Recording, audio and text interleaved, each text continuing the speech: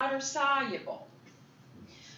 Water soluble, like vitamin B, vitamin C, other ones that we can take in, they only stay a short amount of time. The body will try to use what it's given, but it's very difficult for the body to utilize the substances that man has made. Okay? So it does get a little difficult. Now, the lipid soluble is where we can run into some issues. A, D, E, and K.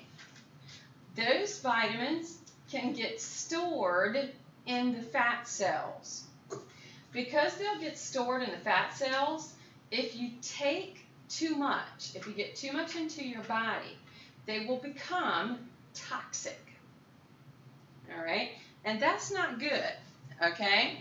Um, vitamin A, we tend to associate with vision. Okay? But if we take too much of it, it can actually affect bone and muscle. Um, we can have problems with skin, hair. It can affect the liver. too much vitamin D, which now vitamin D is extremely important. Okay? Anybody in here ever been told they got a vitamin D deficiency? Okay, they like put you on a supplement or something. Yeah, But you one that you just kind of take over the counter or prescription. It's prescription. Prescription. Okay. Have you ever noticed the dosage? It's a lot. It's fifty thousand. Fifty thousand milligrams. Yeah. Okay. Now, vitamin D. Here's the thing though. For the body to uptake calcium correctly, you need vitamin D. All right? Now, here's the thing. What processes in the body use calcium? The heart, pumping up the heart, the Uh, contraction of the heart. which is a muscle. Calcium is needed in all the muscles skeletal, smooth, cardiac. Calcium's needed for the one thing that we think about bone. Okay? Calcium is needed for what else? The. The nervous system. Yep. It's needed for the nerve. So, see, some of them are very good. All right. Right now, how do you think your level of vitamin D would be? Do you think your levels would be high or low right now? Why? Because we're inside wearing clothes. We are inside, we are wearing clothes, we don't have no sunshine, or if we have sunshine, we're stuck inside. Wait a minute.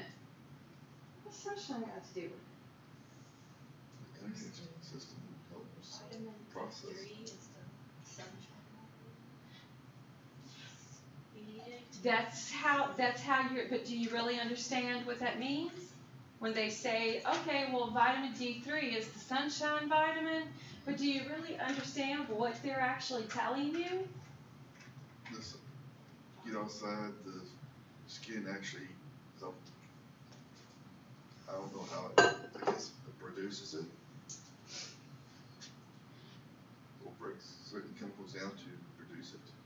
We actually need the sunshine to take it and convert it into what's going to become a hormone like substance, and that's going to start with the skin.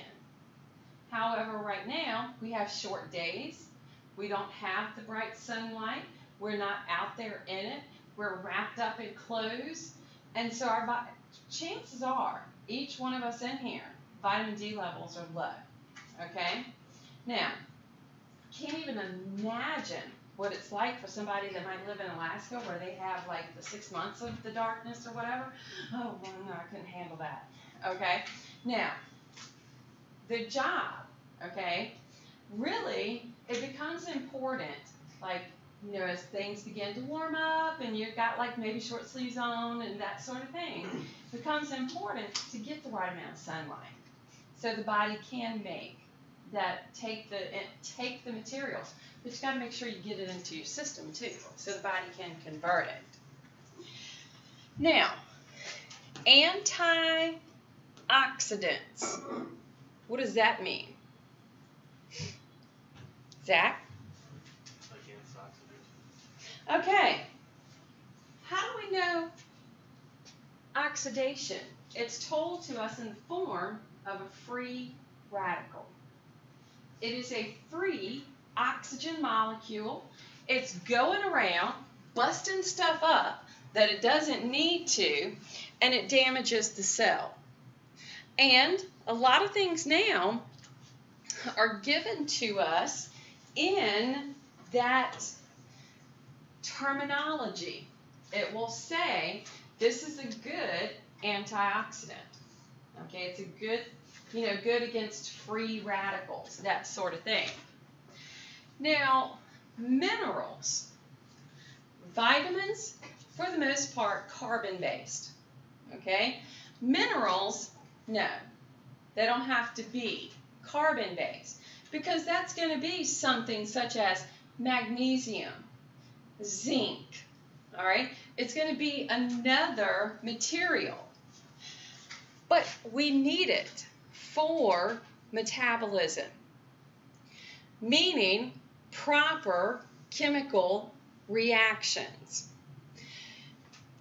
They help to establish the resting membrane potential. What is that? Because we're going to come across that again. This is your cell at rest, meaning that cell is not working. We need it to generate an action potential. This is your cell at work.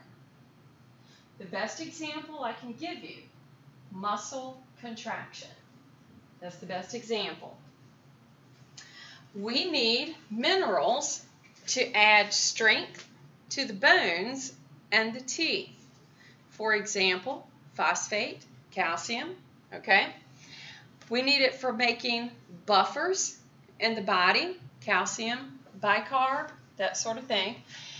We need it for osmotic balance, meaning the movement of the water either into or out of the cell. They are components of coenzymes. Love this right here. My vitamin was a coenzyme. Mineral will be a component of it. So it'll take the mineral to work on the vitamin to make the vitamin to make the enzyme work. Man. They're going to be part of our vitamins and hemoglobin. What part do they play for hemoglobin? Iron. All right. We get them from both animal and plant sources. Now, minerals, like I said, it used to be that the source for minerals was dirt going into the plant sources. But we have stripped the majority of our dirt of the minerals. And so it's, it's getting more difficult for us to have plant sources that will provide minerals to us. Once again, a lot of people tend to look to supplements for this.